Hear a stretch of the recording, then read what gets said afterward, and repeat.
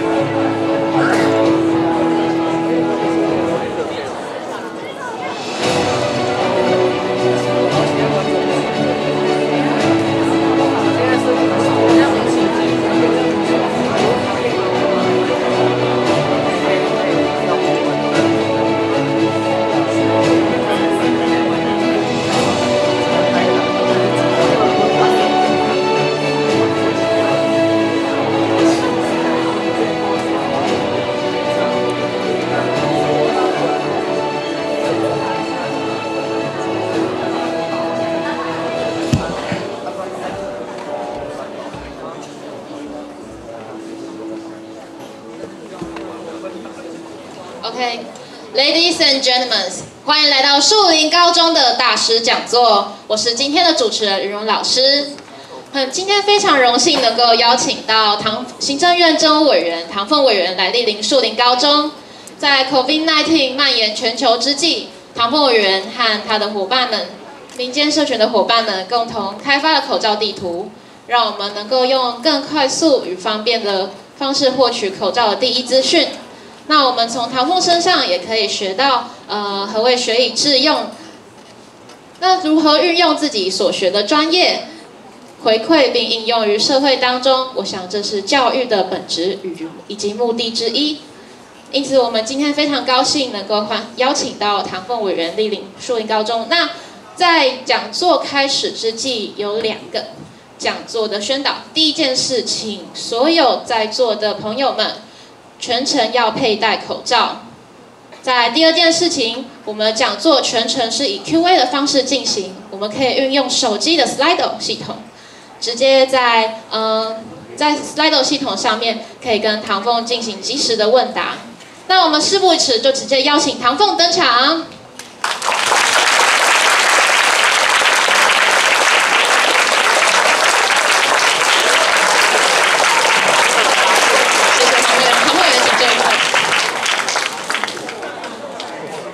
我们在呃请唐凤委员呃开始演讲之前，我们先有请我们树林高中的大家长曹永央校长来为我们致辞。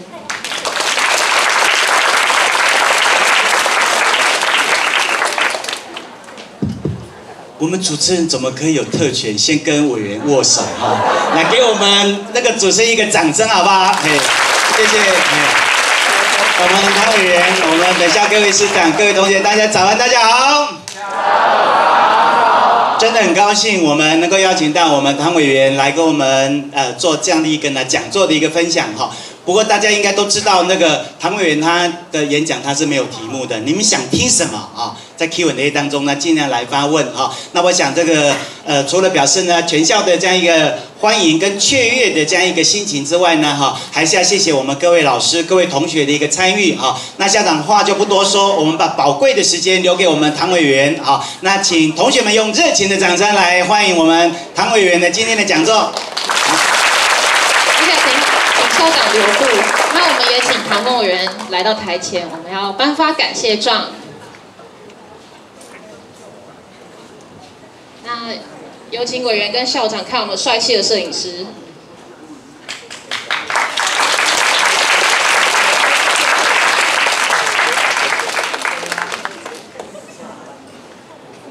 好，那请校长与唐波委员回座。好，那我们就话不多说，直接邀请唐委员来开始现场的演讲。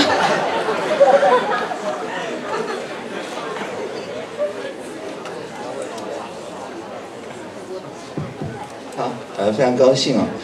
那个有这个机会让大家就是扫 QR code 或者是 Slido.com，然后输入一二七哦，然后来决定今天要讨论的题目。那从现在开始大概九十分钟到十二点嘛，中间不休息，呃，就是以大家按赞的数量来决定说会讲什么。那当然随时也欢迎大家举手，举手的话有无线麦克风嘛，应该就可以呃递麦克风到大家呃就是手上，那也可以及时的来对谈哦。举手的优先顺序是高过在 Slide 上面按赞的啊。那今天我们也非常高兴啊，就是有我们的就是。呃，文武双全的这个知行合一的王阳明哦，也在现场啊。那不知道，那这很高兴，这个呃，王阳明趁乱跟子陵告白，原因不明。好，那但是无论如何，这就是最最最高赞数的，那就这个感谢感谢王阳明老师。好我们先先来看那个就是最高分的题目，然后。最新的题目会跑在右下角，那有的时候就是最新题目会自己开始聊起来哦，这个都是正常能量释放哦，不用特别，呃，就是呃大惊小怪。那也可以用最新题目来提一些程序问题，然后比方说冷气太冷啊，冷气不够冷啊，什么之类哦，都非常的适合。那如果有追问在最新题目出现的话，我也会看情况把最新题目往上提哦。好，有二三位朋友们问说。您的成长背景跟一般人不太一样，不是一直在正规教育里面学习，在台湾社会里面，并不是每个父母都愿意让小孩这样子发展想请问。你觉得在教育体制内或体制外，一个人在成长过程里面最应该培养的核心能力为何？又或者我们可以给下一代的核心价值是什么？非常好的问题。我我想这边先讲一下，就是说。核心能力是呃，我觉得很好的一个翻译哦，core competence。那以前 core competence 都被翻成核心竞争力，这个我在博文那一场有有讲过嘛。那所以就是让大家误解说，好像受教育是各。别的个人跟个人要竞争，但那事实上是完全就是一个虚幻的一个东西，没有没有什么意义的。呃，当然团体跟团体，或者是呃国家跟国家之间，当然可能存在一些竞争，但是在团体里面，人跟人之间主要是互相合作。那互相合作为什么就是有这样子的呃互相合作的必要？就是因为大部分这个团体要解决的问题都没有办法靠一个人的力量能够解决，因为一个人的力量能够解决的问题，这种小的问题，差不多大概都已经被解决的，就是百分之九十几。那绝大部分我们现在面对的问题，像永续发展目标啊这些问题，大概都必须要结合非常多不同专长以及不同文化背景等等朋友，所以。最需要培养的核心能力，当然这个已经有标准答案，就是十二年国教课纲的那那三个概念嘛，自发、互动、共好，啊，自自动好简称。那自发、互动、共好里面又以自发最重要。那自发就是说，你看到一个问题，那呃在脑里面有两两个回路嘛，一个是回避回路，就是你呃去躲避那个问题、逃避那个问题的回路。那有另外一个叫接近回路，就是说你能够去主动解决那个问题的回路。那如果有看过 有部电影叫《脑筋急转弯》的话，那它。就同样是从呃，就是看到一个问题啊，怎么怎么会有这种事情？就是一种好像义愤填膺啊、怒怒这样子的表现。那他是呃回避回路的话，他就会是这个呃惊惊，就是恐惧感啊；厌厌，就是真的这件事我就不想管了，这是回避回路。那或者是接近回路，就是从怒怒到悠悠，就是呃，我觉得哎，这里面有我所担心的部分。那然后接下来乐乐，因为我已经想出一些解决方案，我愿意呃去分享出去。所以接近回路跟回避回路，大概就是我们在学习过。过程里面，并没有人天生是呃都是回避回路的。大部分碰到一个问题的时候，你看小小孩，他都是很愿意去这个尽可能的，就是知道这件事情。但是在中间，就是有很多好比说人员之间的竞争啊，所谓的标准答案啊，用各种各样的方式，呃，大家就会觉得说，哎，那我学习到这边，好像我对于这件事情的改变其实无能为力。那这个时候，那就会往回避回路这边走了。所以，我觉得第一个就是最应该培养的核心能力，就是碰到任何问题的时候，都是觉得说，哎，那。这里面当然有让人看不顺眼的部分，那但是这里面呢，一定有一些我静下心来想一想之后，我可以找出好像拼拼图一样，我是一小块拼图的这种感觉。那这种感觉，我又愿意互动，愿意分享，愿意达到共好等等。那这个就是最应该培养的核心能力。那给下一代的核心价值，我通常都是这样子讲。那这不是标准答案，就是我个人的核心价值啦。就是说，我们在呃登出这个世界的时候，应该要把这个世界弄成比我们登入的时候好。反正这里有一个程序动力哦，就是说可不可以音量再大声哦，清楚一点啊？那不过这个其实是扩音机那边的音量啊，并不是我的音量啊。所以我如果再靠近一点，当然可以很大声，但是那个声音品质就会变得比较不好。所以不知道扩音机那边可不可以稍微调整一下，把把扩音的音量稍微调大一点啊？没有办法调整。那就只能物理调整了，就是就这样贴着口罩讲话，好，没有问题，好，我们就试试看哦。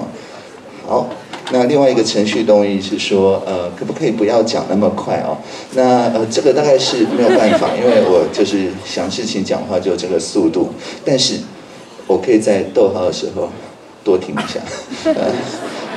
或者是分号、顿号以及句号。都可以有相应的停顿啊，这个是没有问题的。我们就折中折中参采啊，大概这样。好，那所以第一个题目大概先回答到这边，就是那这个也刚好接到 Inola 的第二个题目啊，有三十四位朋友们想要知道说，最近自杀议题沸沸扬扬，有人说结束生命是件很可惜的事情，有些人说是自杀者太痛苦了才采取这样的方式来面对人生，你怎么看待自杀？如果身边的人反映出自杀一年会如何应对？你怎么面对人生的挫折？谢谢。好，这这样子应该停顿速度应该可以。对，两两到一个拍子啊。OK，嗯，对。那程序上一题所说的给下一代的价值，就是说。我们要让登出的时候的这个世界哦，比我们登入的时候的这个世界哦要来得好。那如果你提早登出的话，提早自己强制登出的话，那当然就没有办法完成这个永续的任务嘛，因为呃，就是就就等于就是到一半这个 rage quit，就是就就不玩了。那这样子的情况下，我是会建议说，通常想要提早登出的朋友，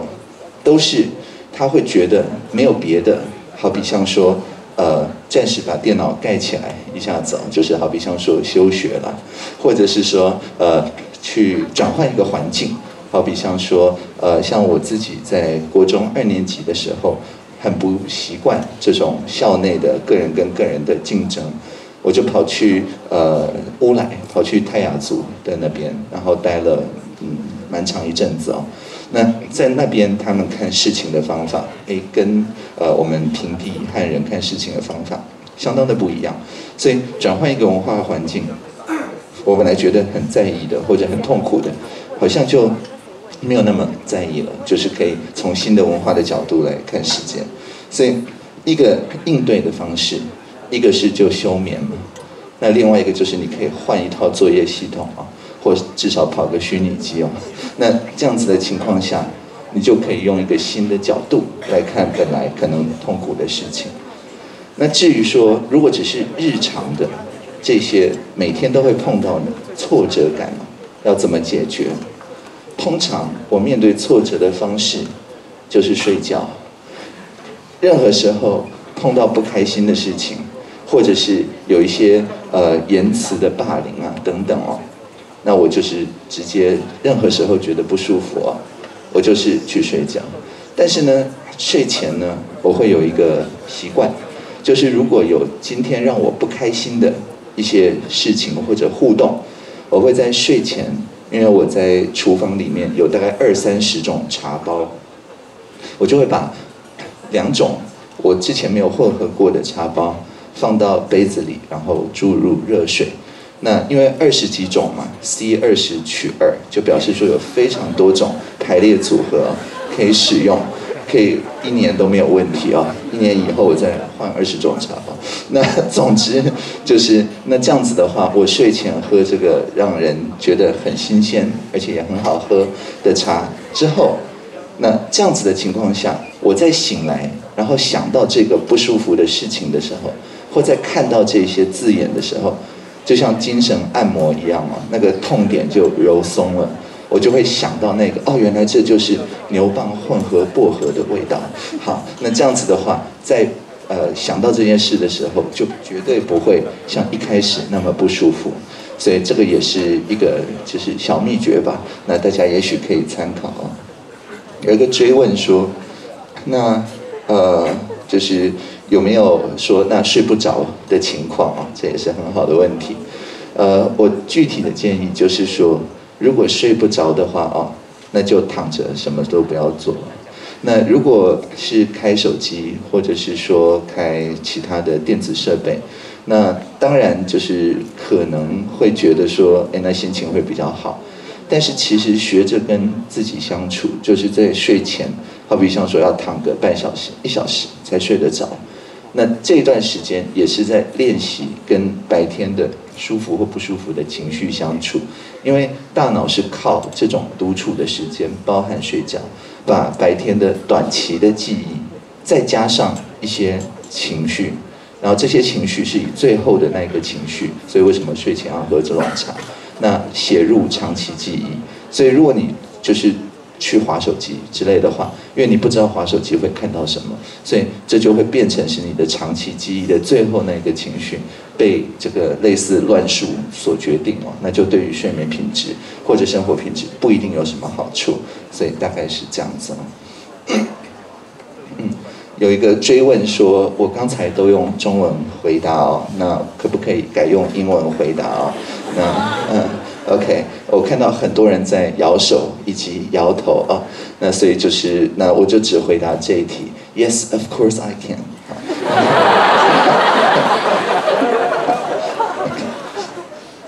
好，那呃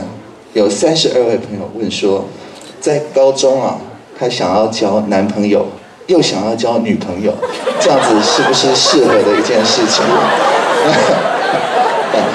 这个我我戴的是彩虹口罩了，所以双性恋是正常的哦，没没有什么关系哦，不是你的问题哦，所以呃就是可以就是只要确定说呃你的男朋友跟女朋友这个不是同时哦，或如果同时的话要有双方的三方的同意哦，那这样子才才可以哦。好，那除此之外哦，我想同时交男朋友跟女朋友不不是什么太大的问题。那有三十三位朋友们想要问说，呃，曾经受过台湾的教育以及国外的教育，那我觉得最大的差异在哪里？认为台湾教育最需要改变的地方是什么？呃，我确实到德国受过一年的教育，那在德国我是五年级降转四年级，因为他们五年级就是中学了。那当时有一个感觉很大的差异。就是说，在呃我的同学都比我小一岁的这个情况下，感觉他们都很成熟，不但自己会安排自己的时间，而且呢，对于说有一些要上职业学校，有一些要上综合高中，有一些要上学术高中，完全没有那种人跟人之间互相比较，说这个比较好，这个比较不好的感觉。而就是很自然的，每个人因为有不同的兴趣，所以就是会选不同的高中去念这样的感觉。那我觉得当时在台湾就不是这样子嘛，感觉上是说，哎，就是技术高中，当时还叫高职哦，呃，是好像你学术高中就是没有办法考得到才要去的。那当然现在在新课纲里面，我们已经改变了这个看法，可是很多的家长还不一定有改变这个看法。另外一方面，即使是他鼓励你去念技术高中，那你学了三年，甚至包含选修等等，那觉得可以贡献社会了。我想各位的家长很多还是会鼓励各位，不是鼓励，要求各位一定要去念大学哦，而不是说先在社会上面体验个两三年啊，然后觉得说，哎，那我有一个学术的兴趣，或者是说我在这门技术上有一些研究的一个方向，那有一个题目再去念大学。那这个也是在德国，我看到跟在台湾很不一样，因为如果你有一个题目再去念大学，那你就可以充分的用大学的资源。如果你没有一个要解决的问题，只是因为家长的鼓励就去念大学的话，那很可能只有一张文凭而已，或者是要到大三大四才比较发现说，哎，我本来不是想念这个哦，这样，所以就是鼓励大家。就是毕业之后不要去念大学，呃，不是，不要马上去念大学。对，那当然，呃，这件事情在以前很困难，是因为十八岁民法上不算成年嘛，所以你不管要做任何事情，都需要家长的同意。不过这个呢，应该明年就会修正了。那明年的时候，十八岁就已经成年了啊。如果家长呃鼓励呃你不是很愿意接受的话，那反正你是大人了啊，自己说了算。那所以我们也很希望说，接下来也比较像我在德国看到的，就是大家是有一个要研究的问题再去念大学这样的做法。那有有一位朋友问说，刘海太少怎么办？那呃。可以考虑就是呃接发，接发是一个比较简单的解决方案嘛。那或者是也可以烫头发啊，这两个都是可以的。OK，有四十八位朋友们问说，对于古板的老师哦，他硬要收手机，有没有什么看法哦？该怎么说服他哦？给一个很很很漂亮、很酷的一个表情符号啊。那。当然，像这场演讲，啊，是不能收手机的，因为手机就是我们教室的一部分嘛。如果大家不用手机，怎么可能帮 Slido 按赞呢？那所以，我具体的建议就是说，因为对老师来讲，大家的手机如果是变成是，呃，就是学校的教师的这门课的教材教法的补充。那这样其实没有人会反对大家划手机，因为你划手机按赞也是回到荧幕上，留言也是回到荧幕上啊。那做任何事情都是回到我们的这个教学现场。那当然，老师他担心的当然就是，哎，你的手机滑手机是滑，好比像说 Instagram，那这样子的话，除非这堂课刚好是在教怎么用 Instagram，不然的话就是离题嘛，它就会变成一个回避系统，而你旁边的人看到，哎，原来他在滑手机哦，那这样他也会被卷进这个回避系统，大家都一起对于正在教的这门课就没有兴趣了。所以具体的建议就是说，呃，我们不是说要说服老师，呃，不要收手机，而是应该是告诉老师说，呃，原来手机是可以怎么样建设性的用在这个课堂上，Slido 只是一个例子嘛。那只要大家愿意把手机建设性的用在课堂上，手机就是教具的一部分，教具当然是不能收掉的啊。那所以呃，具体的建议就是去跟老师稍微讨论一下，说可以怎么样的建设性的把手机用在课堂上。但是因为每个科目的用法不一样，所以我这边也很难做一个就是放诸四海而皆准的建议。所以大部分的这种实际的斡旋的工作，还是要同学自己做。好。那呃，刚刚有一个追问说，我刚才是说，哎，高中的时候就可以呃，毕业了以后就可以试着去体验一下职场，体验一下社会。但是这位朋友说，但是台湾的企业参考的基本上都是有好文凭哦，才能够去哦。不过这里呢，也有一个松动的趋势，就是很多人会说，哎，我是不是一定要文凭？但是你实际去看那些企业的人资部门。他讲的都是说有学历或相关经历，那这个相关经历要怎么样在高中的阶段就可以透过一些呃，不管是选修课啊、社团啊、参加一些活动啊、科展啊等等来培养，或者是说呃，甚至是志工或者是参与社会部门的活动等等来培养，那或者是说实习、见习等等的方式来培养。这些经历，只要你在里面有创作出一些。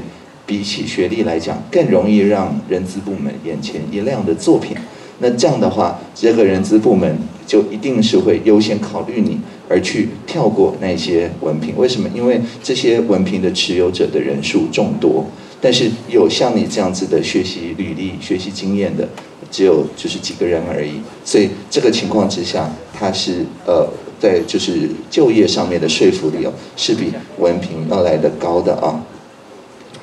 那这个有一位朋友说大麻很香哦，不过因为我戴口罩，所以有点闻不到啊。OK，好，好，有四十位朋友们问说，提问的人哦，可不可以不要问一些没有营养又很智障的，等于空白等于，问一点有意义的问题，可以吗？啊，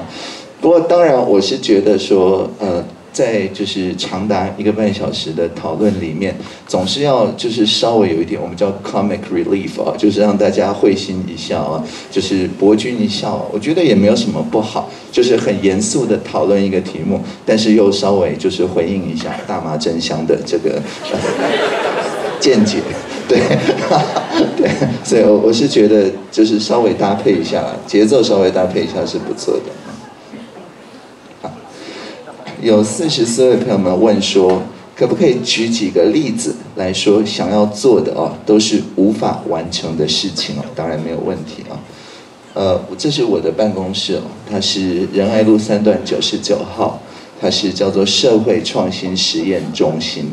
那这个地方呢，它的这些公共艺术是由喜憨儿朋友来创作的。我们看到的世界很多，我们看起来可能是数字，可能是文字，但是喜憨儿朋友们看到，好像画家梵谷一样，是他的拓扑，他那种流动性。所以只要进入这样子的一个地方，就可以去松动掉脑里面觉得好像哎发展经济啊，保护环境啊，促进社会公平啊，好像是各管各的情况啊，而可以一起结合在一起，而且呢，也不只是。台湾的朋友也有一些国外的朋友来，好比像说，呃，这边有一个人叫做 Zdenek Hriber，他是呃布拉格市的市长，是一个捷克人，也是一个海盗党的的党员哦，是一名海盗，然后不太对，但无论如何，就是他是市长，然后他带着他的局处首长来了这边之后，那他就发现这个血汗儿的公共艺术让他们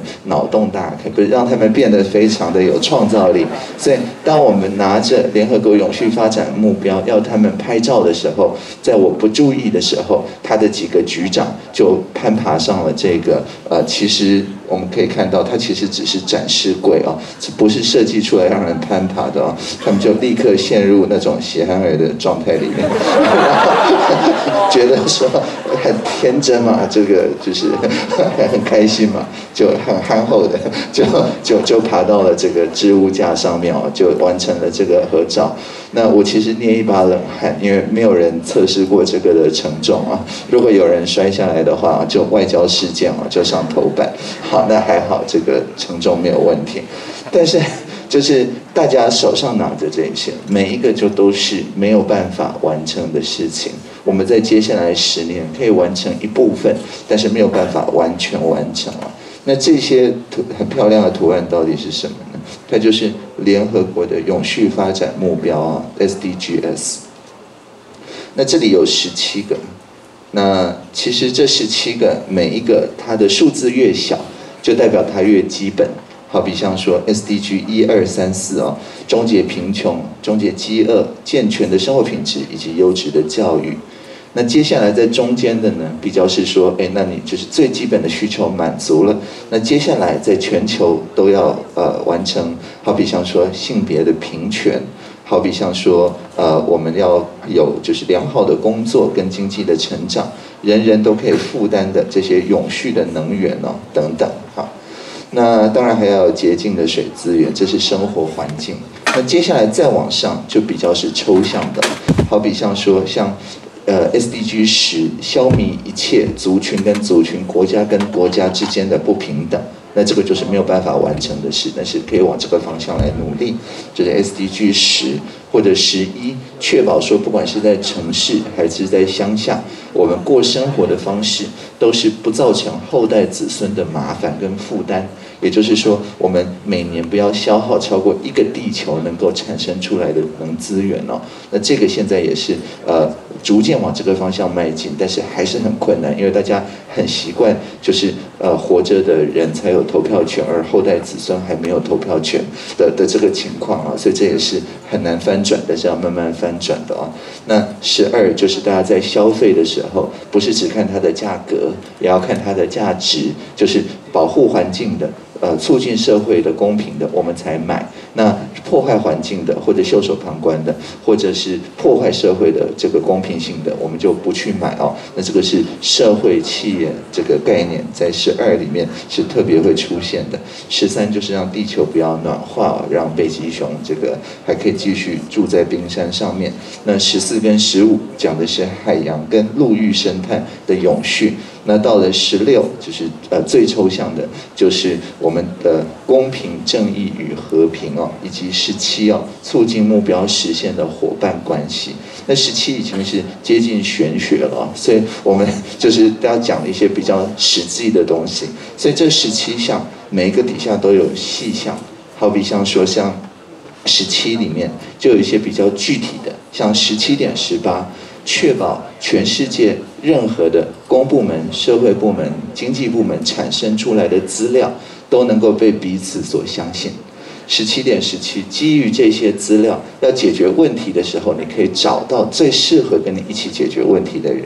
以及十七点六，问题解决的时候是用开放的方式分享给全世界其他的朋友来参考，而不是说好像是只有我自己可以呃解决这个问题，其他人好像一种被科技殖民的那种情况。开放式创新呢，这是十七点六。那这些也都是没有办法完成的事情，你只能尽量朝这个方式努力，但是并不是说百分之百的这个情况，它大概没有百分之百的情况。那因为我的就是专长是。数位的领域，所以在 SDG 十七上面是我主要的工作的目标哦。好，希望有回答到这个问题。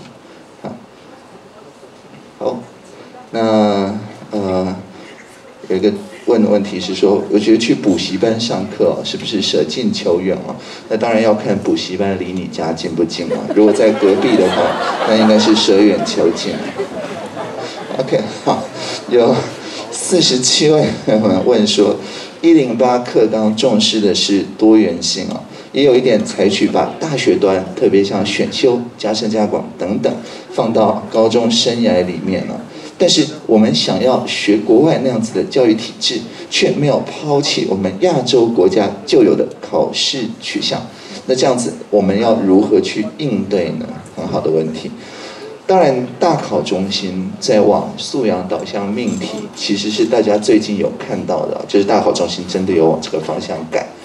另外一方面，学校在就是呃录取学生的时候，现在学习履历或者是他参考这种多元的选材等等这个方向，确实并不是每一个大学端都已经做了调整。不过，我们当时本来就给他们三年的时间来调整，因为是就是从高一、国一跟小一开始，十二年国教新课纲，到这一届的高一变成了就是大一，这个中间有三年的时间。但是无论如何，这三年的时间哦，就必须要啊去进行这样子的调整。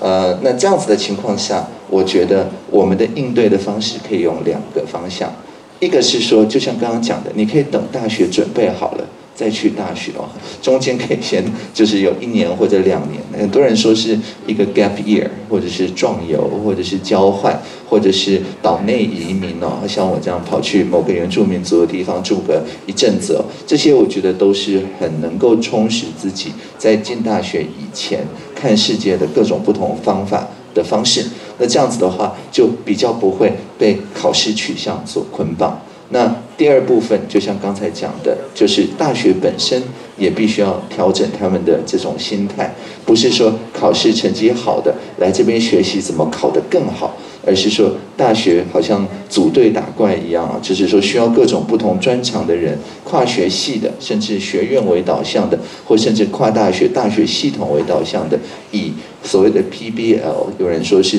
专案导向的学习，有人说是呃问题解决导向的学习都可以了。那用 PBL 的方式来组课，而不是说变成好像每个人都是线性的，就是考试好到这所学校又学习怎么考试考得更好啊。那这个我对我们的大学端是蛮有信心的，因为如果没有这样转向的大学哦，在少子女化的趋势底下哦，那他的学生数就会很少。那所以按照达尔文的原理哦，就是只能够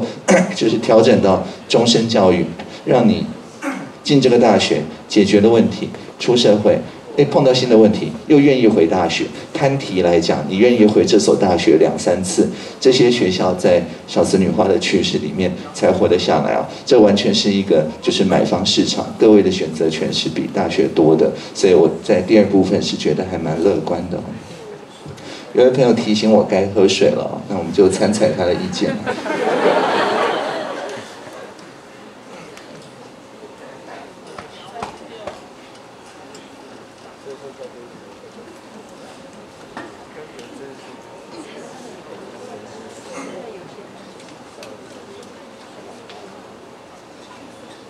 好的，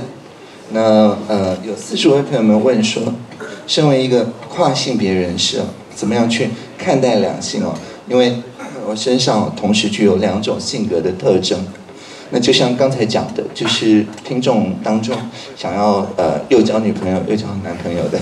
刚刚看起来也不乏其人啊。那所以没有，可能是我看错了。但是无论如何，就是我我觉得呃，本来在我脑里就没有那种。好像呃，人类有一半跟我比较像，而另外一半跟我比较不像的这种二元的这个状态哦。那这样子的情况下，其实就是全部的 Homo sapiens，就是现代智人，都是我的群体，我不会特别去区分。而且练习的这样子的情况之后，又可以再把这个想法去套用到别的事情上。好比像说，不会特别去区分说，哎，好像只有呃讲一种语言的才是我的群体，另外一种语言，因为我不会讲，我就觉得，哎，它是不是我的群体？相反的，我会觉得，哎，那我用机器翻译啊，或者用什么别的方式，稍微学一些它的语言，那我又可以跨一些文化，所以就是跨文化、跨性别、跨学科、跨领域，这些想法都是可以练习的。任何人他呃像我们指挥官陈时中指挥官都可以戴上粉红色的口罩，他也稍微跨性别一点点哦。那我觉得这个都是每天都可以练习的一件事情啊。好的，那有一位这个朋友认为说，今晚他想要来一点唐凤大师的糖醋排骨啊。不错，这个有有有押韵，有押韵啊。OK，好。嗯，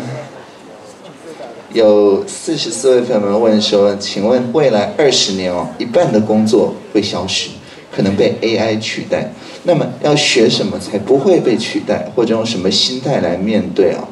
其实，呃，我们消失的并不是工作，并不是一个职业，而是里面的某些工作项目。好比像说，在以前英文，computer 是指人，就是做计算的人；printer 指的也是人，就是去把活字排版的那个印刷的工作者。但是当然后来就是不管是计算机的发达。或者是自动排版、桌面排版技术的发达，computer 跟 printer 现在指的都是机器了，都已经不是人了。但是还是在有人做资料科学啊，还是有人在做运算，只是它里面冗就是 trivial 的部分是已经交给机器了，还是有人在。做出版，事实上很多人在做出版，只是说里面冗的部分，就是排字的那个部分，已经交给机器了。所以我们在未来所谓的一半工作会消失的意思是说，在工作里面有一半的这些项目会变成由机器做，但是那就表示我们有更多的时间去想，那还有什么事情可以做？自发的部分，去倾听不同文化、不同领域的朋友对这个问题有什么想法。互动的部分，以及当然想法立场都不一样了，怎么样凝聚成共同的价值呢？共好的部分，所以就是自发互动共好啊。只要这三个去学习哦，那就不会被取代，因为这些都是把人跟人连接在一起。AI 它的特长是把机器跟机器连接在一起嘛，自动的连接在一起。但是把人跟人连接在一起的这个活动，还是只有人类可以做，所以就是尽可能的。不要去跟呃，就是摩托车比赛跑之类，就是不要把自己的这一些呃自尊建立在说一些机械性的重复的操作赢过旁边的个体上面，因为这样子的话，这个你可能觉得是你是跑得最快的，但是很快就是就会有呃摩托车跑得比你快了，这样。好。那呃，有两位朋友问我关于罗志祥的看法，因为我我不认识他，也没有跟他互动过，所以这个问题没有办法回答。那呃，有四十七位朋友们问说，可不可以把学习历程的档案哦废掉？嗯，我是觉得说，档案当然也许可以废掉啊。那就是改成用云端的方式传送啊，或者是共笔啊，或者是就是不要受到那个档案大小的限制嘛。我知道说很多朋友就是要剪辑那个档案啊，或者是觉得说，哎，为什么只能存这个大小的档案呢？都是让人觉得不太舒服的。不过你要把档案去掉之后，你可以改成超连接嘛，就是你去提供一个超连接，好比像说，如果你是像我一样写程式的，那你可以提供一个 GitHub 或者是。其他的呃，放你城市码的专案的历程的一个连接哦，那所以呃，我也是很支持尽可能的把档案用超连接或者其他云端的这个方式共笔的方式啊去取代。那但是教育部的这个系统可能还要一些时间来调整，那这个我也很愿意帮助他们调整。那至于说学习历程要不要废除啊？那意思就是说呃，我们在上大学或其他的时候呃，完全就是靠当场的这个。反应表现或者考试，而不是靠过程里面的这个 portfolio，就是你累积了哪些创作，这个大概是不可能的，因为。呃，我们在过程里面，我们希望大学去参考大家不同的专长做的不同的事情，它才能够有一个让大家彼此之间能够向彼此学习的类似像学习圈这样子的一个组团的能力。如果只是靠线性的一些量表等等的话，那从大学的角度来看，它没有充足的资讯去做这个就是多方面的组团。但是如果现在的档案格式或档案大小造成大家的困扰，以我所知，国教署已经有约。一些高中学生在谈这件事情，看未来可以怎么样把这个体验呢变得更好。所以就像呃，就是二零一七年五月，呃，有一位设计师提案说，报税软体难用到爆炸哦。我们最后的那个合作的方向是把报税的体验做得更好，而不是说废除报税哦。废除报税这个就不太容易了啊。好，那大概是这个方向。嗯。好，那有五十位呃朋友说，呃，好，这个有一个叫做吼吼哦，这很有意思。为为什么大家都用这个表情符号？这个表情符号是有什么特色吗？OK，好，已经看到三次了。好，OK，请问一定要七点半到校吗？哎，又是同一个表情符号。现在有很多学生严重的睡眠不足哦，还要应付学校的课程，早上呢又需要这么早到。迟到呢，还会被老师靠北啊啊！终于有一个新的表情符号。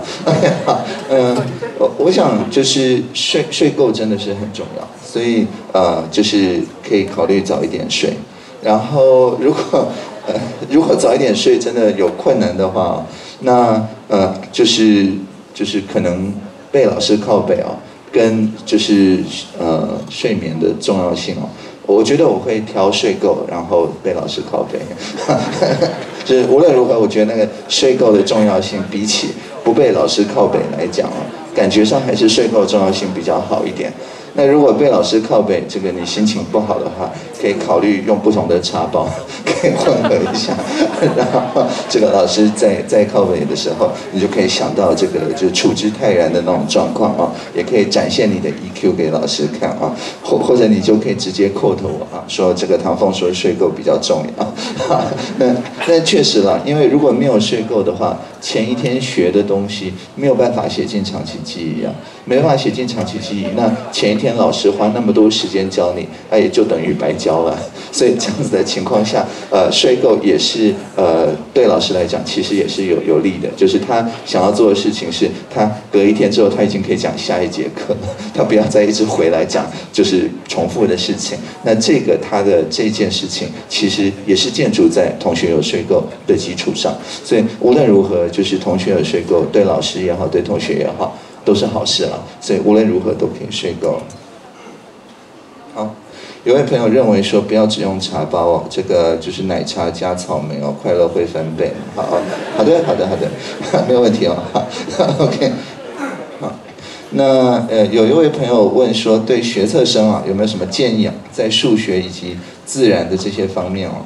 呃，这是很好的问题，其实我我。就是具体的回答，就是素养导向的意思，就是呃去解那些练习题，就是当做呃一个习惯，但是不要变成说好像你只会解呃现有的这些题目，因为素养导向意思是他会用各种比较整合式的方法来看说你是不是真的能够自己运用数学的方法或者自然的方法来了解一个新的事物，那这个跟之前都是考已知的那个。状况其实是不太一样的，所以当然解练习题也许还是可以做，但是也可以多花一些时间去了解，哎，最新的数学发展，呃，最新的自然发展，现在到底是在做什么？那有这样子的好奇心，比较容易来处理，就是往素养导向，就是转向之后的学测哦。好，有四十岁的朋友们问说，如果老师上的很烂哦，那啊，我是该自习哦？还是继续听他的啊？不过我想小孩子才做选择啦，各位已经是高中生了，是全都要啊。就是你可以一面听他的，就有点像是 podcast 嘛，对不对？当做那个背景音乐。那然后一方面哦，就是自习，一方面学习自己有兴趣的东西。那我我以前在学校的时候，常常就是这样，就是因为老师他的就是诠释的这个方式。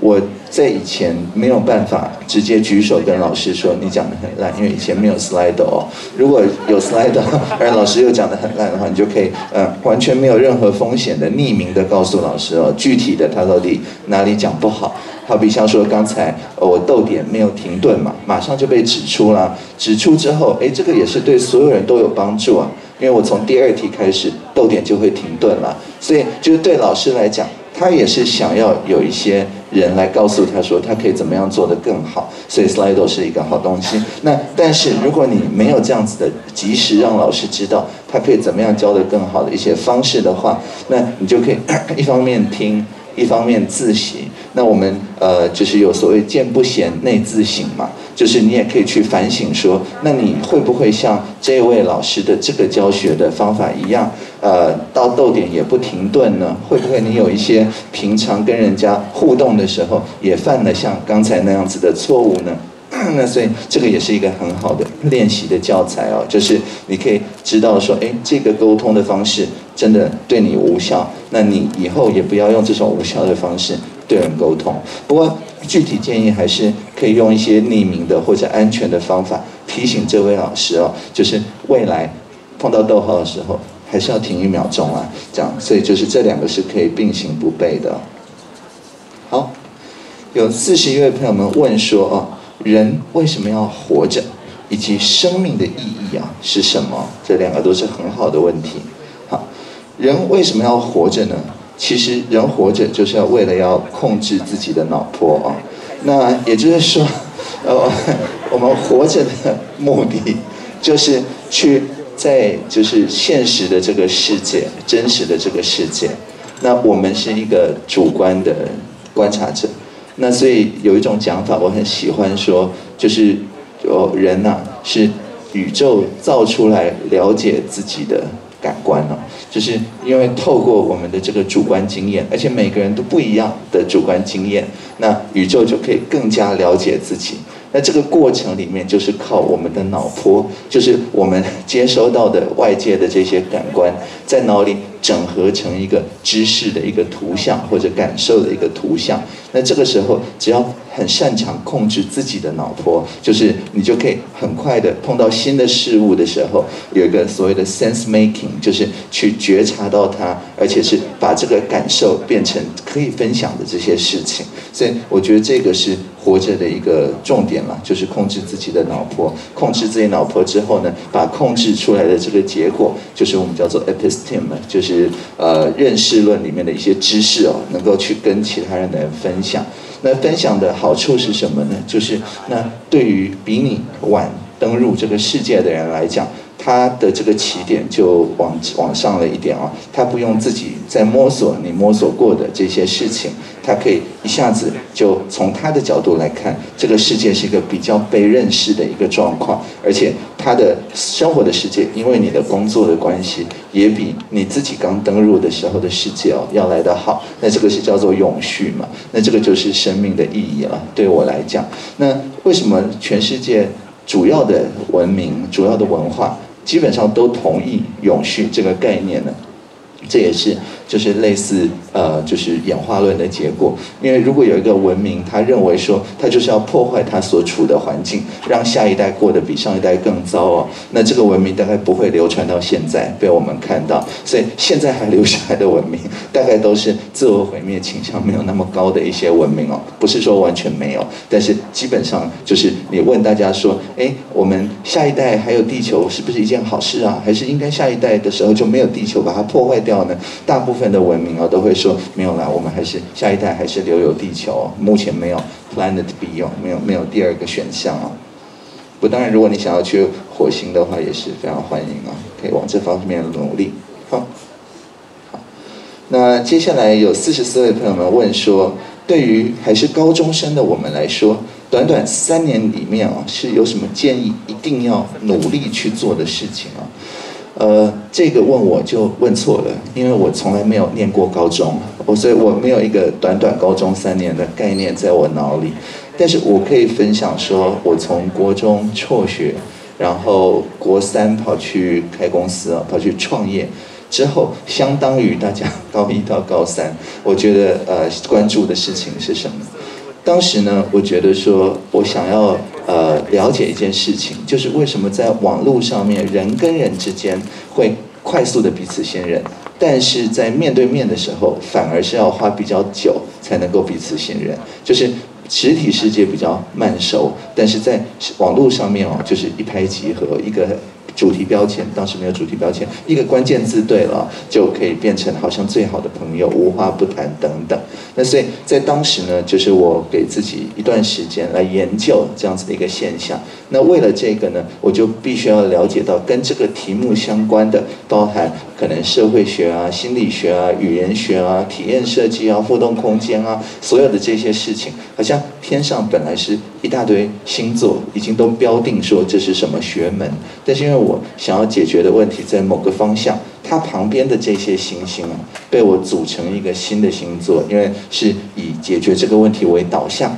来学习，所以在脑里去把这种既有的学门拆掉，变成以你想要感兴趣的那个问题的方向。来了解这些学门，这种跨领域的能力了。我觉得在那三年里面，就是我主要花时间做的事情。所以，同样的，就是在脑里去把什么文组啊、理组啊，这我都是听人说，我没有念过高中，或者是把不同的学系啊什么这些拆掉，变成是你自己感兴趣的方向，来带领你自己的学门哦。我觉得这个是值得努力的一个方向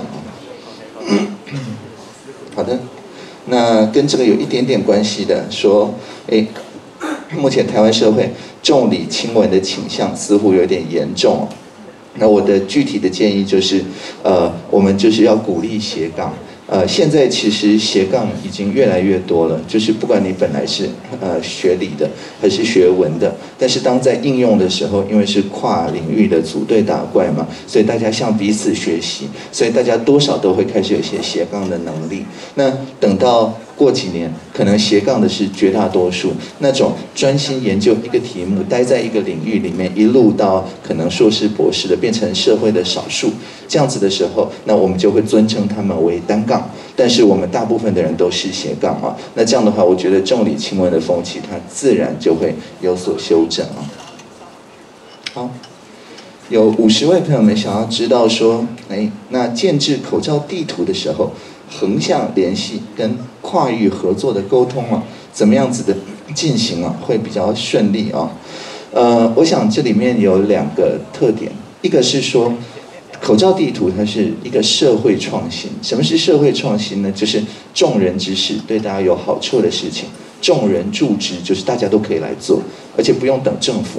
口罩地图建制的时候，吴展伟他在台南哦，我昨天终于第一次面对面见到他，之前都是在网络上啊的时候，他完全没有问过任何人的同意，他就是说，哎，他的 LINE 群组，他的朋友，他的家人会一直洗版，说这边还有口罩，这边已经卖完了，这边还有口罩，这边已经卖完，他觉得不生其扰。所以他就写了一个地图城市，让大家的回报可以直接标定在地图上，而不是一直在 LINE 里面洗版。那但是呢，他又愿意把他的整个工作创新分享出来。不是只有他的亲朋好友，任何人都可以使用，所以他瞬间就欠了 Google 六十万元的使用费，因为大家都去用他的这个 Google 的 credit 啊。那但是呢，当然我们后来就发现说，这样子的做法真的比较省时间，所以就不只是他，也包含江明宗，就有一堆三角形的那个版本的地图，或者是像吉管家，就是 Line 的对话机器人，它就有样学样哦。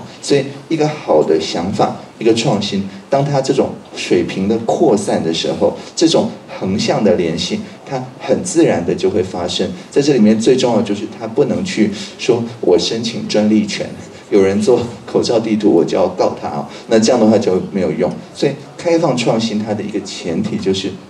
你的这个创新的方式有点像呃珍珠奶茶一样，任何人要开一家珍珠奶茶店，他都不用去问过。创始店嘛，因为连哪一家店是创始店都有争议啊的同意，也就是说没有呃营业秘密啊、专利权啊等等的事情去阻止他，所以这是第一件事，就是第一个创新的人他要自己很有意识的说，我欢迎大家这个来来仿冒，就是来来分分支了，就是把我的想法往新的方向去带。那因为他自己一个人不可能解决所有人的问题嘛。有些朋友不是很会用地图，他比较适合用 Linebot。有些朋友他根本眼睛就是看得不清楚或看不见，那这样他比较适合用语音助理。那有些朋友他可能看不懂汉字或者是呃就是英文字，他可能是呃需要一些他自己的语言的翻译等等。那这些都不是吴占伟一个人、江明宗一个人就可以想得到的。所以当他把这种创新的方法公开的时候，那有需求的人，那我们就可以说，哎，那你行你来嘛。所以最后有超过一百四十种版本哦，大概就是这样子来的。那第二个部分就是跨域合作的这个沟通。那最重要的就是呃，政府要相信人民了。我们如果是不相信人民，那就会变成是只有药局每天往鉴宝署回报一次，当天卖了多少片。那只由鉴宝署统一发布，那每天发布一次，绝大部分的其他政府都是这样，每天一次还算是快了。那但是当时呢，因为我们相信大家不会误用这个数据，我们就决定每三十秒钟试出一次。这个的差别是什么呢？就是如果你每三十秒钟试出一次，我在排队的时候，我就可以用我的手机知道我排我前面的人刷了健保卡，他真的拿了两片或者三片或者九片或者十片的口罩。那这个时候，所有人对这个系统的信心，他用参与式验证的方法都会增加。大家更愿意来投入这方面的活动，就是来开发口罩地图的新的应用，因为大家都可以彼此相信，大家好像一个分散式的账本。但是如果我们是一天才试出一次的话，你在排队的时候，你就没有办法说，诶，那我来检查一下我在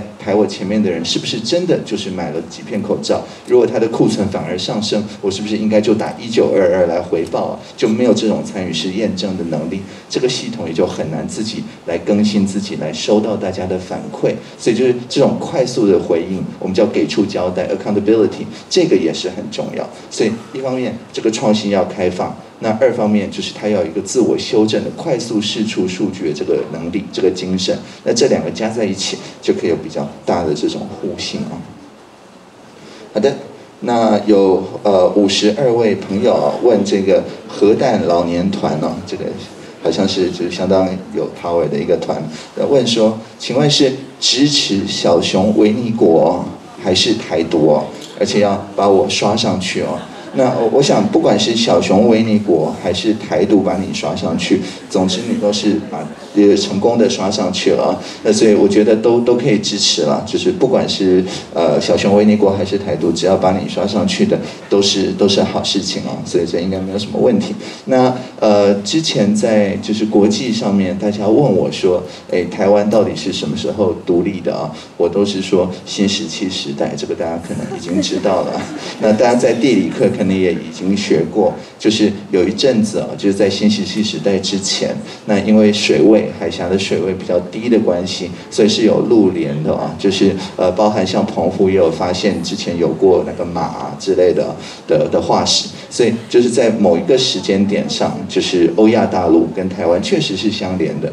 你也可以说，台湾当时事实上在地质学上面来讲，它是跟欧亚大陆是相连的，这都没有问题。但是到了新石器时代，那这件事情就不再是如此啊！海水慢慢的上升，那海峡就没有办法通过。那从那个时候开始，台湾就已经独立了。谢谢。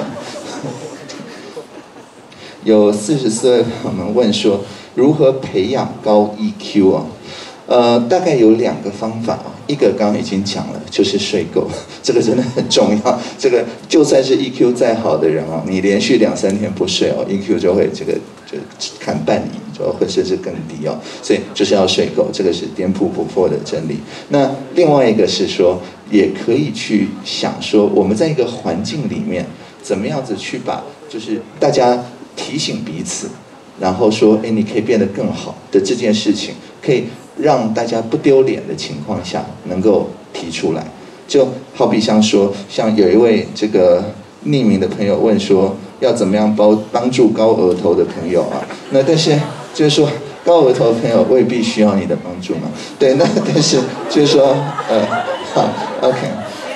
好，还是说要帮助他的额头更高？这这也有可能，也有可能哈。但就是说，呃。像这样子的情况下，他就是在呃匿名的，所以因此也不会任何一方好像就是丢脸啊的情况下，可以来实际的讨论一个大家真的很在意的问题嘛，包含额头啊、刘海啊这些，我觉得真的都是很重要。那而且现在呃我们教育部也说了嘛，就是呃关于就是每个人的穿着啊、打扮啊之类，已经跟我当年呃念国中的时候很不一样嘛，现在自由度高很多。那至于这个自由有没有什么需要限？限制的部分也是让学生来一起讨论哦，所以这些都是培养高 EQ 的方法，就是根据一个大家都关心的、跟共同生活有关的，好比像说呃刘海啊、服装仪容啊、额头啊之类的这些题目，大家一起来设定关于自己生活的一些准则。那这个讨论只要能够在安全的空间，没有出征啊什么状态。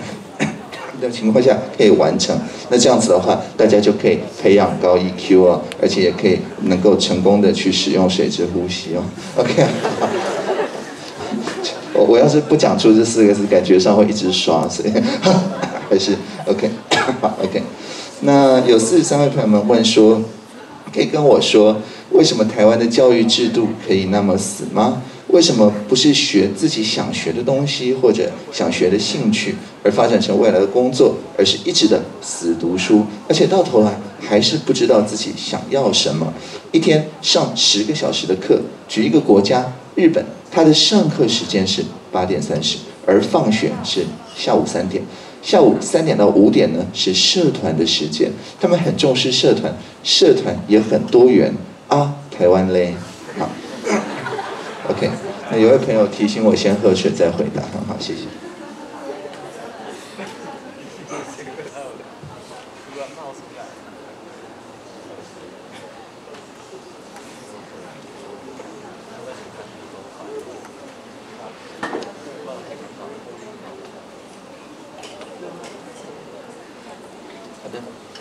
那我到德国的时候也有观察到一样的事情哦，就是他们呃国小也是上课就是到下午，事实上好像到两点，我没有记错的话，那然后之后就全部都是社团，而且这些社团呢其实非常的多元，所以几乎在社团里面学到的东西，从我的角度来看，因为是按照自己的兴趣去选啊，那。事实上是比早上上这些就是数学啊、语文啊等等，要让人有学习的动机，而且也可以学的比较多。那所以在这样的情况之下，我们是不是应该要在就是呃十二年国教的过程里面融入更多就是自主学习的部分，或者校定的选修的部分、加深加广的部分等等的这些事情啊？那我觉得这个当然都是有必要的。而事实上，我们也有在课纲里面放进这些史书。那但是一方面是说这个还比较新，要怎么样充分的运用这些史书，以及怎么样去邀请。本来在社团，本来在第八节课等等的朋友，能够进入这个就是校定选修、加深加广等等这个系统。那这个每个学校的课发会也都还在摸索这件事情，所以当然里面也有就是大家的这个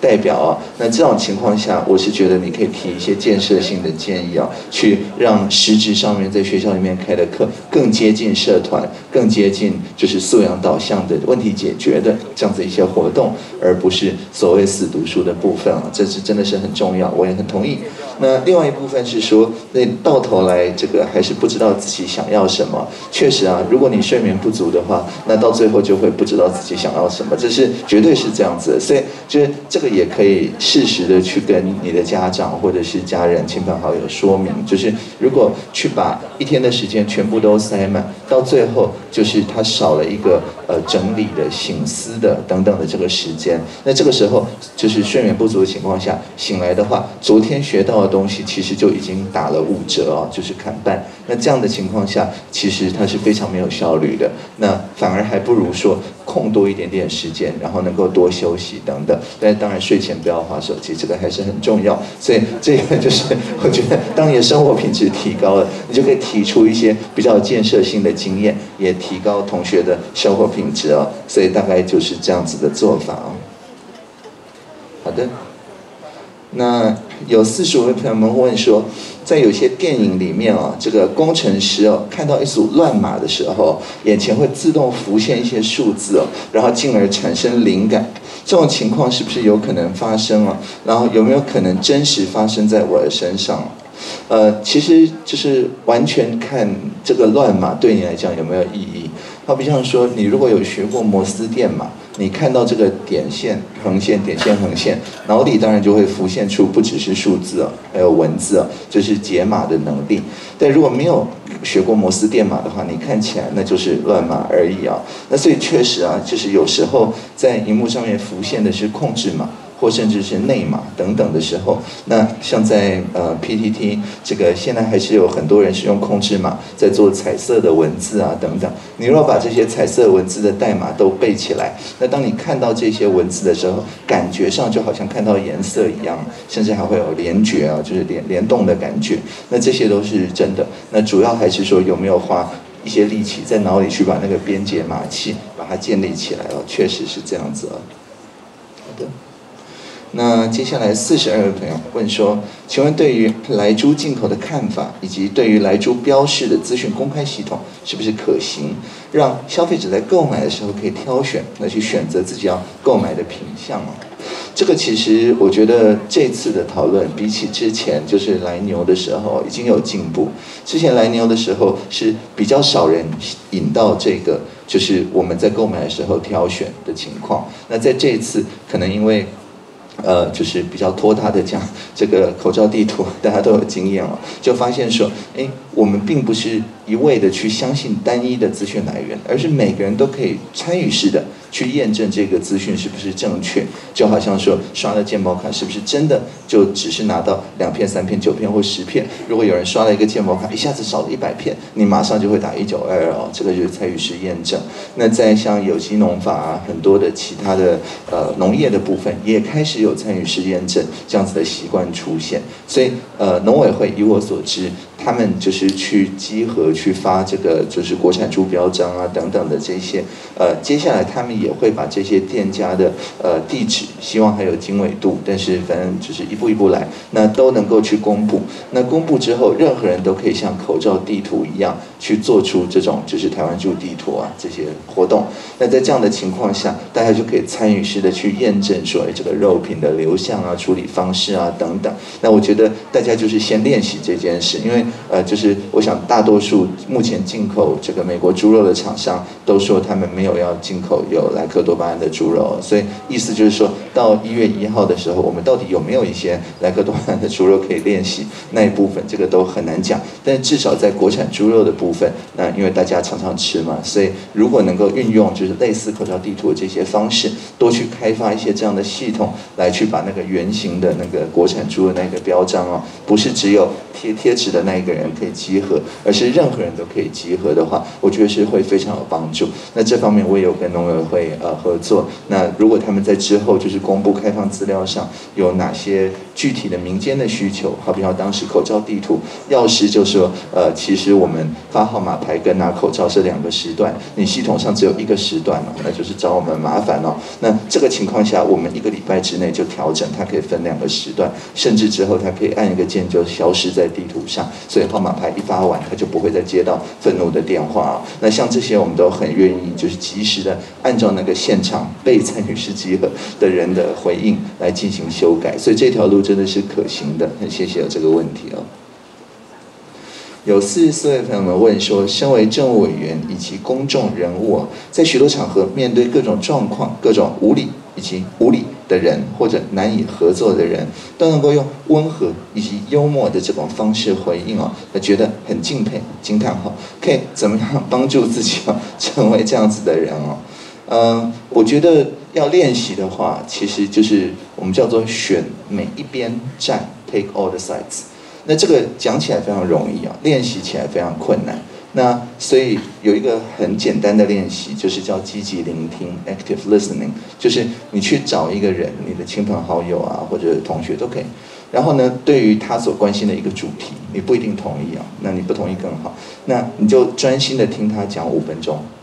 你如果有做笔记的习惯，可以做笔记，但是绝大部分的时间必须要是专注在他脸上，而不是你的笔记上。那所以呢，在这个过程里面，你除了点头、微笑、记笔记之外，都不可以打断他。当然你在脑里一定会打断他，但是就是不要表表现出来。对，好。那所以当你能够忍受这种你在脑里很想打断，五分钟嘛，五分钟很快，一下就过去了。如果觉得说五分钟很漫长，你可以弄一个码表什么的，但就倒数计时器。那你就是在这五分钟里面让他畅所欲言，好好的听他讲。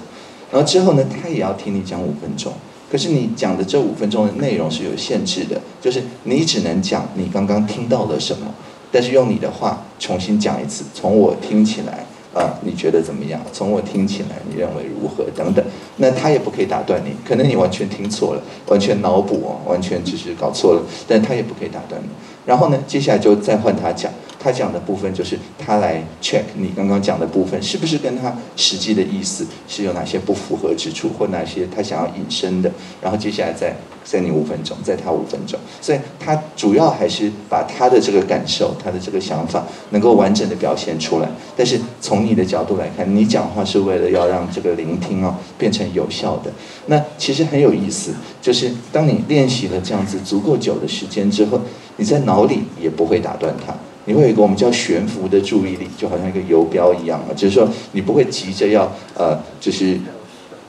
嗯打断他的思绪里面的某一个部分，只是因为他一句话讲的不精确，或者是他引用的事实有误，或者等等的这些事情，你就可以呃暂时忍受，把它放进挂号里。那在这样的情况下，从对方的角度来看，你讲的任何一句话。突然都会变得很幽默、很温和，但是还是很有说服力，因为你是延伸着他的思路来讲，所以从他的角度来讲，哈，他想一件事情想到一个程度，可能有一个瓶颈，或者没有办法想得很周全，你帮他补完、补上那一块拼图，在那个大的。这个思路完全是他自己的思路，所以用这种五分钟、五分钟的时间来积极聆听，慢慢你就可以十分钟、二十分钟、二十五分钟，能够用这样的方式去选每一边账，去同理各种不同的角度。你不一定要同意，但你至少知道说从他的角度看出来的世界啊是怎么样啊。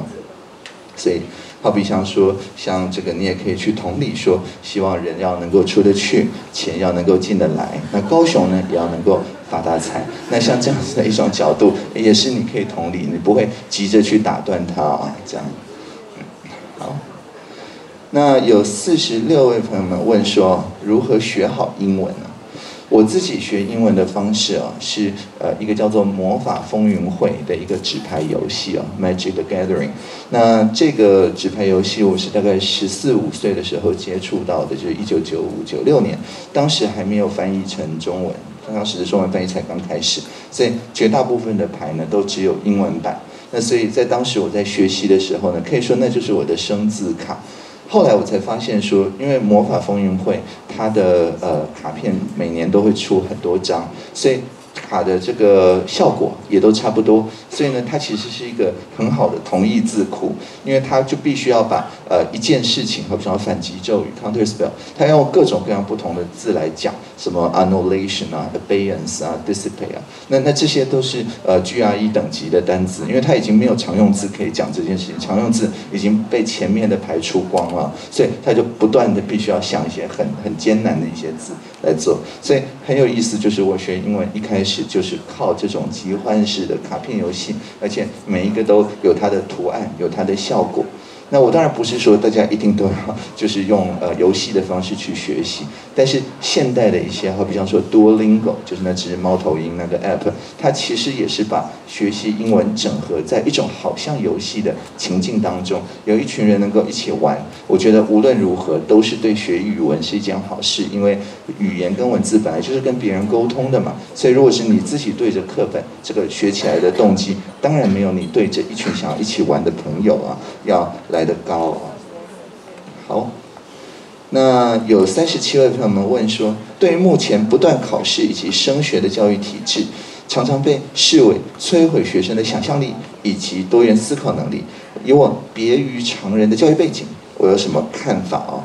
那当然，第一个就是说，如果你不想要被摧毁想象力跟多元思考能力的话，那就像刚刚讲的，高中念完之后就不要去念大学，直到你碰到一个。呃，大学老师、大学教授或者是一个科系，你突然觉得说，哎，那你要解决的问题，真的在这边有一群人正在聚精会神的想这个，而且呢，是用有想象力、多元的方式想。那在那个时候呢，你再选择这个地方，那因为你有已经有这样的判断的能力，而且也已经可能有一些就是创作一些作品，一些学习历程啊，可能不是档案了，有些学习历程的超连接的时候，那这个时候从这个学校的角度来看，你也是一个比较值得收的学生，而不是搞不清楚自己要学什么，只是因为刚好填到这个科系所以来的学生，所以对双方来讲，这个吸引力都会比较高。所以这样子的情况下，当然你进入那个大学之后。你的想象力跟多元思考能力对他是一个加分嘛，而不是一个扣分。那这个时候他的学习环境就会好很多。所以我觉得这件事情就是还是要先找到你想要解决的题目，这个是最重要。那你毕业之后如果一下子找不到的话，你花个一年、花个两年、花个三年去找也都。不会怎样啊，因为大学不会消失嘛，可能会就是合并，但是大学不会完全消失嘛，那他还是会在那边等你哦。那所以这是我的具体的建议啊。好的，那呃有三十三位朋友们问说，我对新课纲安排的看法是什么？对一零八课纲，我总会觉得说，我们就是所谓的白老鼠，在一零八课纲感觉哦，学习到的比以前少。呃，确实，就是一零八课纲，你如果去算那些学科的总时数，因为有加深加广，有自主学习，有各种各样子的新的安排的关系，所以如果你没有主动的学习动力的话，那么你就是收到的净资讯量，绝对是比之前的九九课纲要来的少，确实是这样。但就是那是 by design，就是那是故意的，我我们故意设计成这样啊。那原因是这样，就是说，当你没有学习动机，而硬要这个教你什么东西的时候，你或许一下子背得起来。但是实际上，就是刚刚前一个问题讲的，对于你触类旁通啊、跨域啊、多元的这个能力，事实上是打折扣的，因为就会变成是你还不觉得说，哎，对这件事情我可以有建设性的、批判性的、触类旁通的思考情况下，脑里就有一个好像强制联想，就是标准答案就是什么，就已经建立起来，所以。在这样子的情况之下，我们宁可是说净资讯量少一点，但是多一点时间，让你自己去呃安排说，那你学到这些东西到底要用在哪里？到底哪些才是你有兴趣的部分呢？等等。那所以确实是，如果你在呃国中的时候是九九课纲，但是到了高一刚好碰到新课纲的话，这两个教育哲学是有差异，没有错。那呃。不过这也不是什么坏事，就是从这样子的角度看起来，就是你是等于两个课纲都有经验过，所以如果你参与学校的课发会，或者是你参与更多其他的，呃，我们青年署有很多青年参与政策这些方式的话，那你就可以去呃最有资格了，去把我们新课纲的一些设计，如果真的跟实物上面不符合的话。可以调整到更好的这个方向去了，所以就是你你比较有就是呃改变新课纲的这样一种能力，因为比你如果再年轻，他在国中就已经是新课纲的的话，那他就会觉得这是理所当然的事情，他也不会觉得说呃学习到的比以前少，因为他并没有什么可以比较的东西，除非跟他小六比哦，但小六的那个就是知识的资讯量的密度并没有那么高，所以在这样的情况之下，就是在这两年的朋友了，所谓白老鼠的朋友。其实是最有这个资格来把我们的一零八课纲调整到更适合的这个方向去，那就就是这样。那呃。也我也不会说特别恭喜你或你运气特别好，什么被一零八课纲造访等等的这些啊，那就像呃比我再年轻的就不会记得戒严，所以各位可能现在都觉得说呃言论自由啊什么之类是是理所当然的事情，那但是因为我我是还记得戒严的最后一代人啊，所以我小的时候也还记得说呃言论的查禁啊，这个自我审查，我爸妈都是做新闻工作啊，那写每一个字都要担心说会。不会被审核或者被请去喝咖啡、查水表什么之类的，所以那我就会对言论自由特别的看重，而且在自己的工作上面会特别去让我们做的每个决定都不要再往戒严的角度去退后。那所以就是说，当然在戒严的时候是非常不舒服，可是有这样子的一段经验，也能够就是让我在这个转衔的时候，可以跟两边的人都可以讨论，就是呃以戒严为主要的记忆的长辈们，跟各位已经不记得戒严的。朋友们，所以呃，你作为新课纲的，就是这两届转衔的这两届啊，未来也是会有这样子的一个好好处啊。好的，那有位朋友问说，会不会打算出来算总统啊？好，那呃，我我就是从成年之后，这个只要总统选举，我都有我都有投票，都有投票，有尽一个公民的义务啊。有四十朋友们问说，呃，有如何分配我的时间呢？呃，我想我大部分的时间分配其实是交给我的同事啊，就是我的我的秘书。那概念很简单，就是我工作天的早上七点到晚上七点，完全都交给他们去排啊，他们排了我就会到。那但是早上七点以前，晚上七点以后，那对不起，那就是我自己的时间了。所以对我来讲，最重要的事情还是说我在下班之后不要一直卡在上班的状态。我在醒来之后，诶，有一段时间是能够留给自己的去整理哦。那这两个时间的结构是没没得商量的。所以如果要排七点以前，好比像说在这个美东，其实现在有非常多呃活动，那我都说呃对不起，一定要等你们晚上七点，呃就是他们下班之后，我才能够参加哦，因为我绝对不会因为任何原因哦，早上五点四点爬起来参加这个 Washington D.C. 的活动啊，虽然可能对外交很有帮助，但是呃对我来讲，就是我如果连续几天睡不够，对外交一点帮助也没有，所以这个这个线我是守得很紧。那所以同样的就是。在晚上也不会熬夜，那这两个是最重要的，其他都是呃可有可无的。像番茄钟工作法，可能大家也有听过，但那个我现在已经不会特别去播番茄钟，就是工作二十五分钟休息五分钟。可是我在脑里已经会内建说，哎，这个快到五十五分，快到二十五分，我就会自动那个节奏就会稍微缓下来，大概用这样的方式。好。那有三十九位朋友们问说，哎，那请问陶委员两个问题，一个是说全世界在各个国家宽屏跟人权呢有什么样的关系？以及第二个后疫情的时代，掌握晶片哦优于掌握石油哦，等于台湾未来科技的发展哦有没有什么看法？有没有什么建议？两个都是很好的问题，而且都可以开一整天的研讨会，但是我们已经只剩十三分钟，好，那我就尽可能讲一下，呃，在很多的国家。我们有所谓的网络作为人权哦，Internet as a human right，但是很少像台湾这边是 Broadband as a human right，宽频作为人人权，这当然有很多原因。呃，台湾有一些历史的原因，像在我小的时候，呃，可能才一九八几年哦。那当时就已经在各个偏远的角落都会看到电话亭，公用电话亭。即使设置那个电话亭要花电信局，当时还不叫中华电信，很多的成本，但他们已经有一个就是所谓的不经济地区公用电话亭设置要点什么之类的，就是要求大家的那个通讯权呢必须要满足。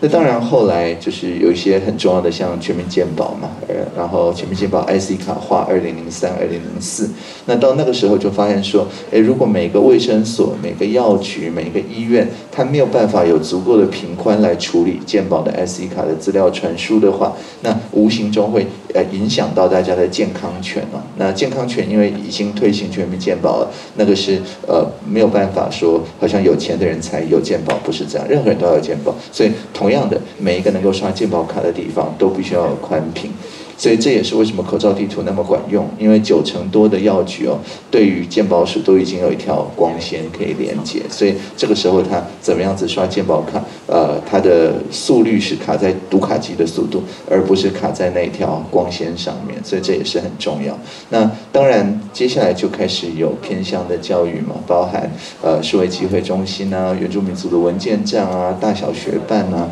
呃，开始有非常多的这方面的活动。那同样的学习权。也架在这个通讯权上面，所以当我们把越来越多的东西架在这个通讯权上面的时候，大家就越来越发现说，不是只有网际网络连线是人权哦，宽频也是人权。但是为什么宽频是人权？不是说宽频天生就是人权，而是因为我们需要宽频才能够实践健康权跟学习权，而这两件事情在我们这边它是属于社会主义部分，就是任何人都应该要享有，不不管你的经济的状况怎么样。那所以我常常就是开玩笑说，我在台湾是刷健保卡就是社会主义国家，但是刷金融卡就是资本主义国家，是就是整个政府是分成就是刚刚讲到的通讯、健康、学习在一边，那所有其他的都还是市场经济制度啊。那所以这部分是有我们的历史的文化的因素，那并不是每一个就是国家都是有这样的历史文化因素。不过当然在防疫啊，以及就是假讯息危害防治啊等等这些题目上，我们都。发现说，哎，让大家都有宽频，四九九吃到饱，虽然那不是故意的，但是就最后变成四九九吃到饱是很有帮助的，因为这表示每一个人他不但可以当那个口罩实名制的监票员，他也可以当民主制度就是投票的监票员啊。我们在投票的时候，当时有很多假讯息嘛，说什么呃有隐形的墨水啊，你不管盖哪个候选人，那个墨水会慢慢淡出啊，然后这个蔡英文那一格会慢慢淡入啊，什么之类啊，就有很多奇怪的谣言。那这些谣言呢，我我们怎么样子去让它不攻自破？就是靠宽屏作为人权，大家都可以实际在投开票所，在唱票的时候，那个唱票的人会只给。各个角度都看到，而且我们又开放说你可以及时的去录影嘛。那所以很多 YouTuber 他不管手上拿着的 App 是鹰眼部队还是穿云箭哦，他都可以用各种方式去把就是投开票所及时的状况让所有人看到。那有了这种参与式验证，当然就没有谣言流传的空间了。所以我们就可以呃。基本上在这次的总统大选，呃，虽然有各种各样的谣言、阴谋论等等，但是如果他真的有什么隐形墨水，这个立刻这个 YouTuber 应该就会 YouTube 这个这个发烧第一名了嘛？但事实上没有，所以这样的情况下，大家都可以就是更信任我们的这个民主制度是不会这个呃作弊的。那个最新问题都在谈作弊，原因不明。OK，好，那 OK 是没有作弊的情况。好，那这是第一个问题的回答。那第二个问题是说，掌握晶片优于掌握石油哦，那确实是如此。那我们也可以发现说，呃，台湾的晶片的制造，那不是只是呃。这个工艺的能力，而是也包含说去突破很多物理限制的能力哦。之前大家都在讲这个几纳米、几纳米，但是在未来的几年，我们可能就会到这个 Armstrong 啊，就是已经到次纳米的这个低于一纳米的这个时代。所以我觉得这方面当然是很重要。然后，如果你对这个有兴趣的话，现在已经有一个创新条例哦，高教的创新条例，就是你对这个研发有兴趣的话。之后的大学都可以去设立这种创新的一个学院，这个学院是跟好比像说台积电这个合资，那而且你学士这个念完之后，如果你对就是晶片制造有兴趣的话，你可以直接完全忽略掉这个大学的这个学位授予法的限制哦，可以直接去念博士，那而且在过程里面也可以呃实际上直接投入第一线的这种制造，所以像刚刚讲就是如果你脑里觉得想解的问题，刚好是这个世界所需要的，就是解决晶片设计的很多难题的话，那整个高教系统都可以因为你的关系而调整啊。那这一部分也可以，就如果这是你的兴趣的话，也可以注意啊。那有四十一位朋友们问说，呃，这届是末代的学测生啊，在课纲跟课纲的交际之间，如果需要重考。但是没有高一跟高三的学习历程哦，该怎么办哦？当然，一方面就是说，呃。不是说你高一到高三就没有做任何事情，只是当时还没有累积学习历程的档案 而已。但是这些是可以回溯的，就是你可以去找到说，哎，那你实质上做了什么事情？然后在多元选材的时候，他就算你当时不是刻意的留下这些档案，因为现在绝大部分就是有各种活动的时候，呃，不管是录影啊、拍照啊，你的创作放在网络上啊、投在 IG 上等等之类，他都会留下一些数位足迹了。所以你稍微做一下策展的工作，大概也可以回到差不多可能六七成，相当于学习历程这样子的过程。而这个过程其实也是就是让自发互动更好，重新进入你的学习计划的一件一一个怎么讲，就一个 opportunity 一个机会吧。对，那大概就是这样子做。那我想重点不是那个档案了，不管你有没有累积档案，学习历程一定都是存在的。只是我们能不能像一个策展人一样去回顾自己呃。过去的三年等等，然后去把自己的作品集结集起来。那这样子的能力，就算你考大学不用到，之后出社会一定都会用到。所以任何时候练习这个能力，那都不是一件坏事。有三十九位朋友们问说，委员觉得制服这个制度哦是不是有必要的？国外许多的学校都没有制服这种制度，学校给的因素啊，原因是所谓的安全的因素啊。但是比起国外，台湾的治安呐已经相当不错，所以应该没有什么安全问题啊。想问委员的看法啊？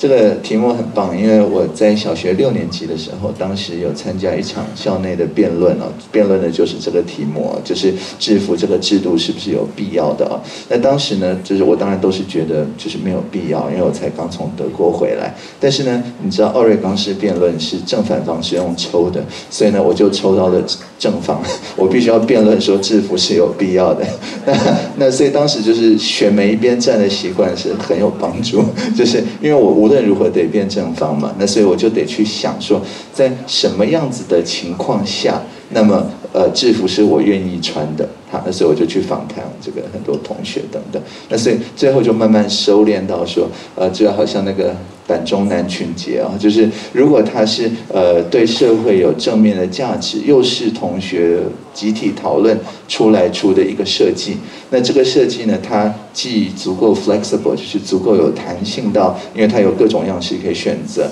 而且又可以来反映出在这个讨论过程里面每一个参与的同学他所在意的点。那这样子的话，最后形成这个所谓制服哦，它也不一定是整套服装，它可能是一个 badge 啊什么之类。那这样子的情况下，呃，这就是我可以接受的情况。那重点还是在那个讨论形成的过程，而且跟这个相同的，就有点像是我们身份证再设计嘛，也是经过就是民间的各式的高手，所以大家每一个人提出自己的制服再设计的这个提案的时候，诶，也是一个让大家练习这个艺术的创作或者是是集体创作这样子的机会。所以无论如何，这个也很有素养教育的价值等等啊。那所以当当然就是当时的那一场辩论，就是我就终于找到一些我可以支持的一个点了。但是当然你也不一定要管我的这些论点。那总是有朋友可能说，哎，不会啊，我如果不擅长参与、不擅长讨论、不擅长设计等等，那不是我的制服就被别人决定了吗？等等，就是事实上反方也是有一些论点的。所以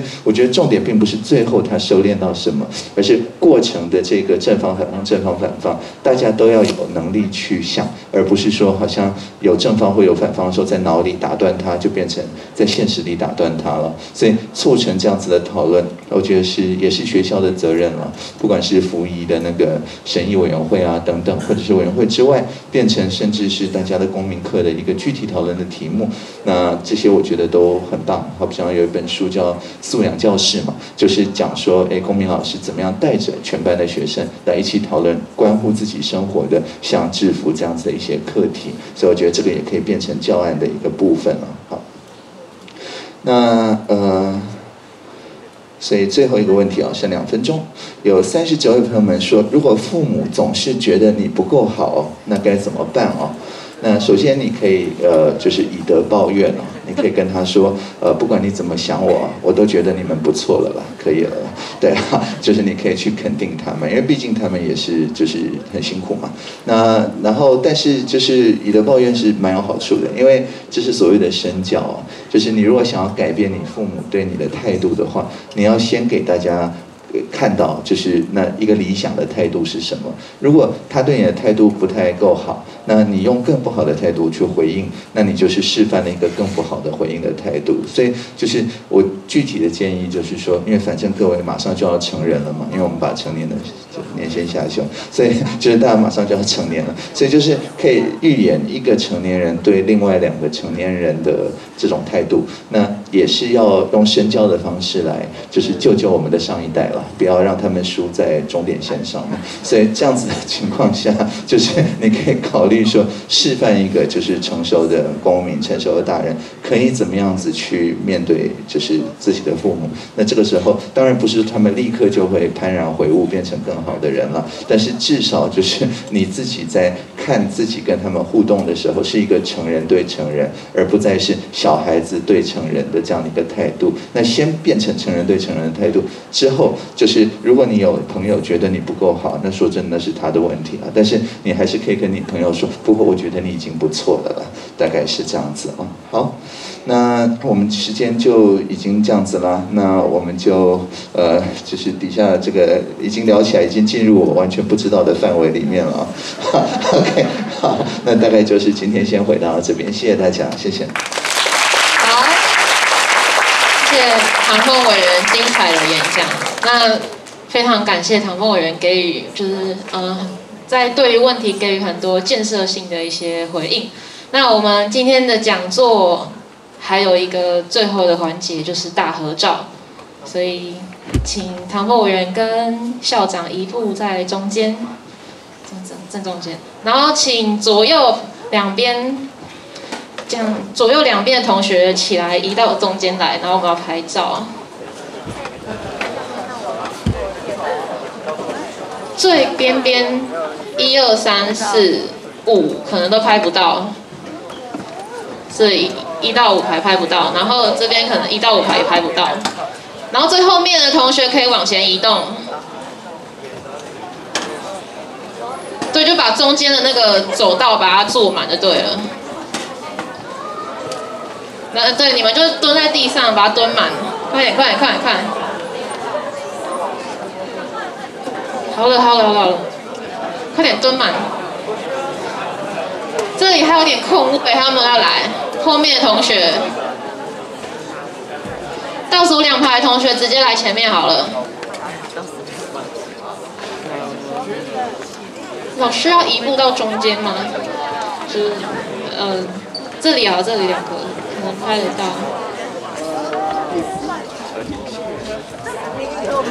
到到前面第一排，没有没有，你们绝对拍不到，这里对，到地上，看后这倒数两排同学，进来，哇塞车了，哇，老师不好意思那个，让让后面同学走来前面好了。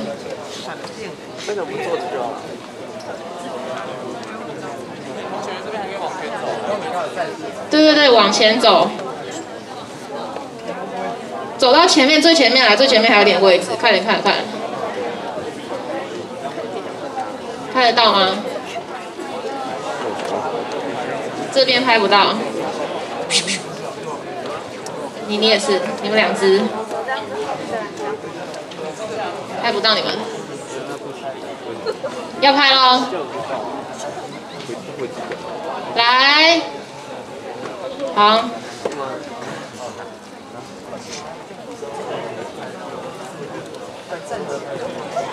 可以喽，来一二三，